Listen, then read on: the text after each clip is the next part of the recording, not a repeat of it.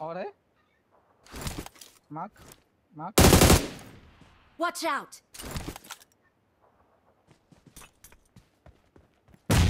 कोई नहीं।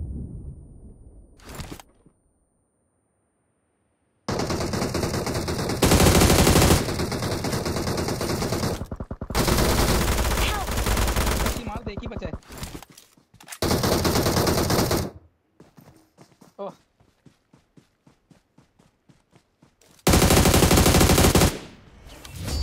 Awesome.